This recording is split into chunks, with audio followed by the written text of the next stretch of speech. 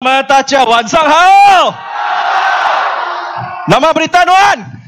Saya datang jauh dari Sarawak kerana saya nak bawa berita bahawa gelombang perubahan sudah tiba di Sarawak, sudah tiba di Sabah dan kita bersedia untuk berubah. Kita bersedia untuk melihat Datuk Seri Anwar Ibrahim jadi Perdana Menteri ke-10 Malaysia. Banyak yang kata kita tak ada peluang. Apabila parlimen dibubarkan, banyak kata BN pasti menang dan pakatan akan terkandas. Tetapi saya percaya kepada niat rakyat. Saya percaya kepada semangat rakyat dan pada hari ini saya berdiri warga Gombak adakah anda bersedia untuk berubah? Adakah anda bersedia untuk kuburkan kejayaan politik si pengkhianat itu? Jauh saya datang sebab saya nak lihat si Asmin Ali itu hilang kerusi dia. Boleh tidak? Tapi Asmin Ali seorang hilang kerusi tak guna. Kita kena pastikan UMNO Barisan Nasional ketundang juga. Boleh tak tidak? Semalam saya juga melihat satu ucapan yang diberikan oleh Tan Sri Muhyiddin Yassin. Beliau berkata, oh disebabkan beliau tak banyak orang mati sebab COVID. Hoi! 36 ribu rakyat Malaysia mati disebab COVID.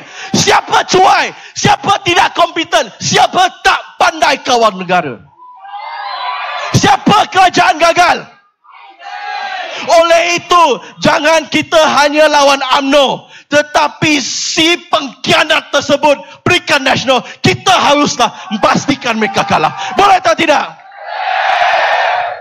Anak muda, saya berdiri sini. Saya sangat gembira, I'm excited. Sebab kali pertama, anak muda 18 hingga 20 tahun boleh mengundi dalam pilihan raya ini. Dan ini disebabkan usaha oleh siapa lagi? Pakatan Harapan. Tahukah anda, kalau kita lihat umur 40 tahun ke bawah, hampir 58% daripada pengundi adalah umur 40 ke bawah. Maka suara anda adalah suara keramat. Suara anda adalah suara yang penting untuk memastikan landasan negara menuju ke satu tempat yang betul. Anak muda, pada tahun 2018 satu gelombang anak muda telah keluar dan mengundi beramai-ramai paling ramai dalam sejarah Malaysia dan disebabkan itu Malaysia telah bertukar sejarah Malaysia bukan sama seperti lagi dan jika kita boleh lakukan pada 2018 saya percaya kita boleh lakukan sekali lagi pada tahun ini pada 2022 betul atau tidak? Anak muda keluarlah. Ajak kawan-kawan. Kita Pakatan Harapan kita memahami isu-isu anda. Kita ada polisi kita ada dasar kita ada halat tuju untuk isu-isu pekerjaan gaji bermaruah pendidikan kualiti tinggi isu-isu alam sekitar kesihatan dan banyak lagi rumah Pakatan Harapan adalah rumah untuk anak muda kita. Maka saya ingin berundul. Besok pagi saya kena balik ke Sarawak. Sebab perjalanan belum habis lagi. Jangan kita lalai. Jangan kita leka. Besok pagi kita semua balik dari malam ni. Dari zaman majlis malam ni. Tarik semua pengundi. Tarik semua rakan-rakan. Tarik semua relatif-relatif, jiran-jiran tetangga, kucing, anjing semua tak bawa bawa. Keluar mengundi boleh atau tidak? Beritahu mereka kalau kita tak bagi peluang kepada Datuk Seri Anwar Ibrahim, mampuslah negara kita.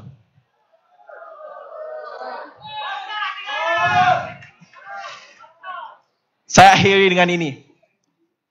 Barisan Nasional selalu kata, kita mahu kestabilan kita mahu satu kerajaan yang stabil. Tetapi apa gunanya kerajaan yang stabil tetapi kerajaannya rasuah? Betul atau tidak? Kita tak nak stabilkan rasuah.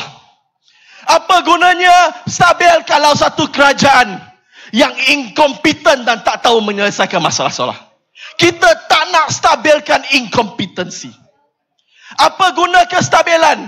Jika ada satu kerajaan yang tidak menghormati rakyat Malaysia, tak kira kaum, agama maupun bangsa. Betul atau tidak? Dan saya tahu hanya ada satu pilihan saja, yaitu kerajaan Pakatan Harapan yang dapat menyelamatkan Malaysia. Oleh itu, satu satu sembilan kita keluar beramai-ramai, kita tukar serana kita, kita undi Pakatan. Pakatan! Pakatan! Sekian, terima kasih.